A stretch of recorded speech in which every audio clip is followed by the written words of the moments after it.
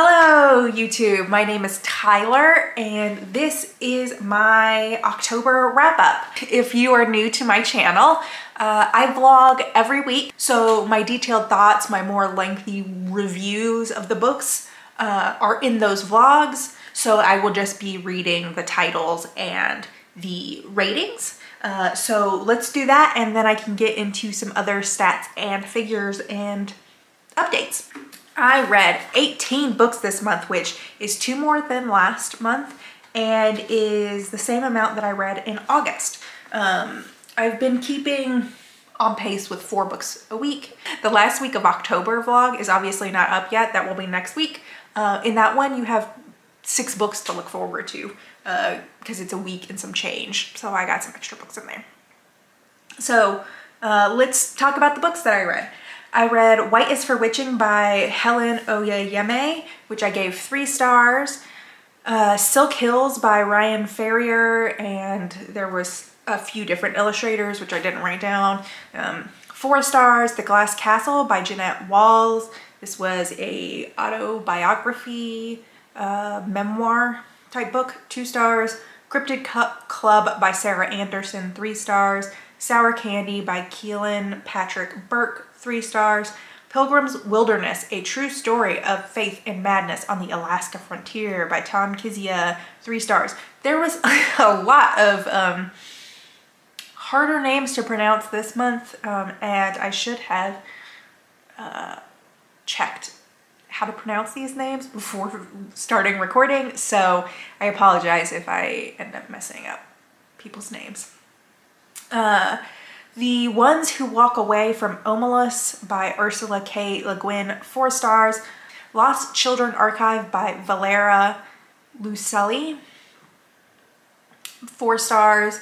Catherine House by Elisabeth Thomas, four stars. The Weight of Blood by Tiffany D. Jackson, two stars. How Fascism Works, The Politics of Us and Them, four stars. Uh, that was by Jason Stanley.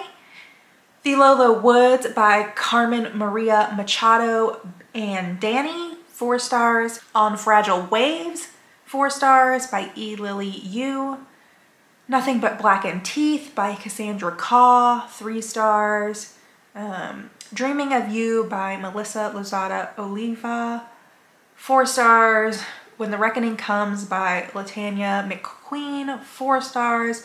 Peluda by Melissa Lozada Olivia, Olive, four stars, and Rock Collector by Becca Tobin, four stars.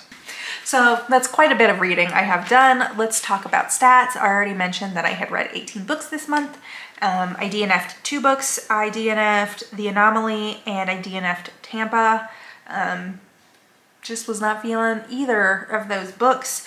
Um, so I dropped them. Uh, on average, it took me four days on the nose to read a book this month. Um, when I did the math and it came out in a solid number, I could not believe it because that never happens. Um, which makes sense. There were a couple of books that I read within a day. So let's see. I read The Ones Who Walk Away from Omelas in a day because that was like a 20 minute audiobook. I read Nothing But Blackened Teeth also was a really short three hour audiobook that I listened to in a day. And then Rock Collector was a pretty short uh, comic. It was like 32 pages that I read in a day. Um, so yeah, quite a few one day reads and then some longer ones. White is for Witching took eight days. Um, Lost Children Archive took nine days. And When the Reckoning Comes also took eight days. So some longer ones and some shorter ones.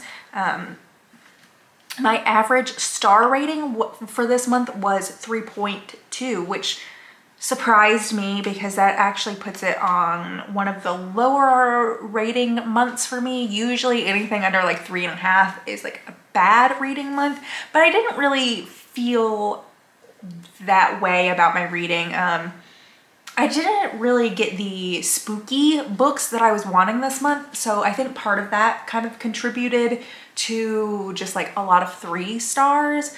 Um, and I'm not sure I got a five star read this month. So that probably also contributed to a lower rating overall this month. However, I read a lot of four stars that were like really strong four stars where it was an enjoyable four star where I was having fun four stars where it was a four star not because it did something that irritated me that kept me from giving it five stars but just because it was four stars and it was a four star read and there was like no reason in particular it was four stars that just just was what it was um, and uh, you know, that was enjoyable for me. Um, something that like, even though I didn't get the mm, compulsive read I was hoping for or the like really spooky scary read I was hoping for, um, I really enjoyed the four star reads that I read. So um, let's look. My least favorite read, interesting. So I have two two-star reads, The Glass Castle by Jeannette Walls and The Weight of Blood by Tiffany D. Jackson. Um, so I gave The Weight of Blood three stars on Goodread just because the way I didn't enjoy it was because it was YA, which I knew picking up and was like my fault for reading. Um, whereas The Glass Castle just kind of bored me. Um, so I think that one's probably my least favorite. Um, and then, like I said, a whole bunch of four-star reads. I don't even know how I would pick my favorite one. Some of these four stars were three and a half stars rounded up. And some were just like good four-star reads. Um, I, I genuinely do not know how to pick. So like Lost Children Archive, that was one of the weirder things I've read. Um, just because it had such a unique perspective and format, um, but not weird in like a horror aspect. It wasn't a horror book in any capacity. It was about immigration. I really enjoyed that. I'm really glad I read it. Um, really liked Catherine House a lot. That was a very weird book. um, the Low Low Woods by Carmen Maria Machado. Really liked that one. On Fragile Waves, again, another like um, immigrant migration story. Liked that quite a bit. Dreaming of You. That was a book in verse about Selena and she was being resurrected, which is a wild thing. Um, that was so weird. Enjoyed that. um, when the Reckoning Comes wasn't quite as scary as I was hoping, but had a good time reading that. Five of the six books I read in this last week were four stars. So like those ones I feel like I really enjoyed in this last week, so maybe contribute to overall this week, this month feeling like a good reading month. Um, and then Rock Collector and Peluda, um, both of those I gave four stars too. So like, I don't know how to pick my favorite one.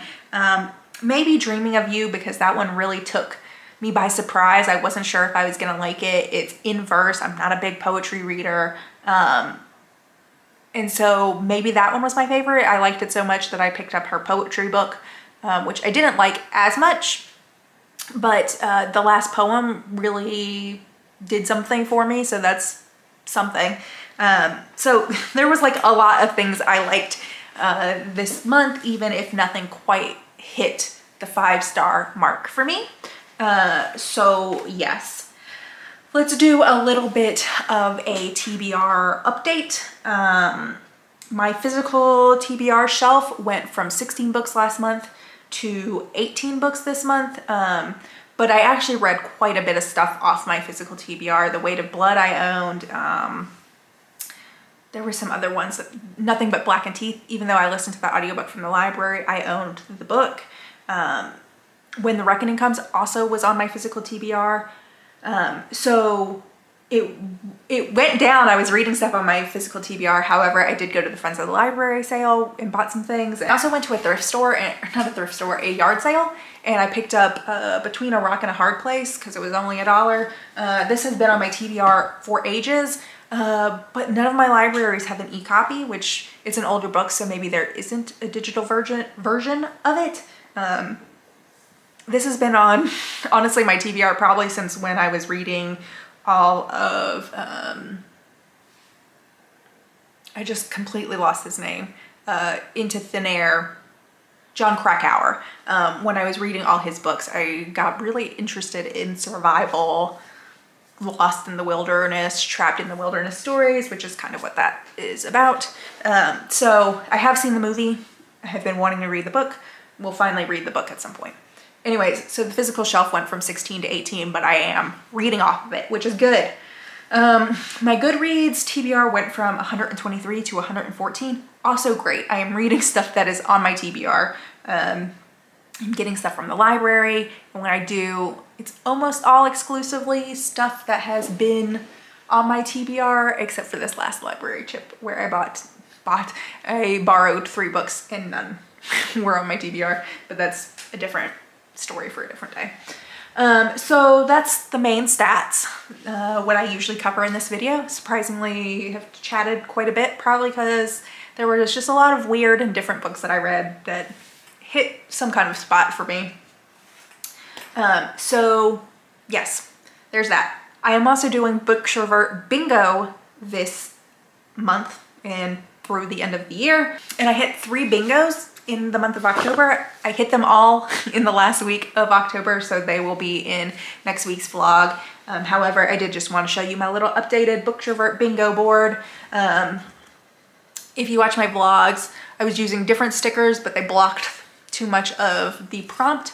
So I spent some time today redoing the stickers so I could see the prompt better and the book that I used to satisfy the prompt. Um, I have two almost bingos. I'm working on a gifted and thrifted book right now. Um, and that's not my name, which is supposed to be for a pen name or someone who is writing under a different name for whatever reason. Um, so those are the two bingos that are closest. Uh, I plan on using different color stickers for the month of November um, and will allow myself to reuse some of the topics that I have already used just because that's how I feel like playing. Um, but I, if I get this, that will still count as bingo.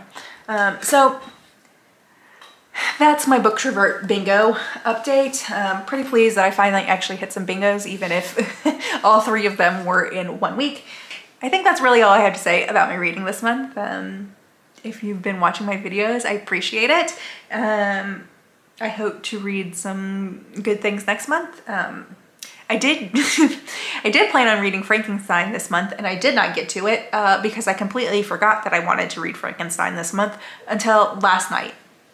Um, so maybe I'll read that in November, unsure. Um, I definitely will be rereading The Basic 8 this month. Um, I may or may not do a vlog with that, I have read the Basic 8 many times. I have a lot of feelings about the Basic 8, um, but I'm not really sure if that would make for an interesting vlog or not, if I would actually have interesting things to say to camera.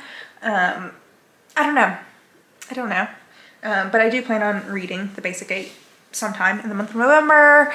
Um, and it's been a really long time since I've reread something, and in my previous vlogs, I was talking about how I definitely was feeling the need to reread stuff. So um, just because I read a lot of just like okay stuff kind of in the beginning of October um, and the end of September, I was just reading like a lot of three stars and I was feeling kind of um, underwhelmed with my reading.